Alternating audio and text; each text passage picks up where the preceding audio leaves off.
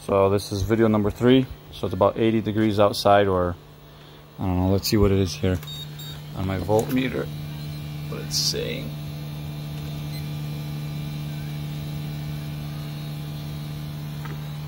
What's this air conditioner pulling? I mean, I guess it's 70 in the, in the shop. So this is video number three. It's been an hour. I started at uh, 2.15, now it's 3.15.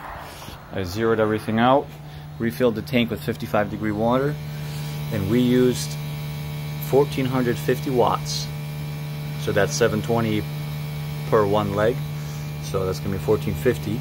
As you can see, the amps aren't, aren't full blast. You're about 7, 8. You still have another amp to rise, but it's slowly rising.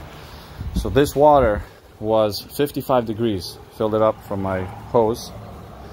It's now 121, 122 up top. And I just, I used my uh, thermometer wire. And it's about 10 degrees colder here, 10 degrees there. So it's 100 there and 110 there, 120 there.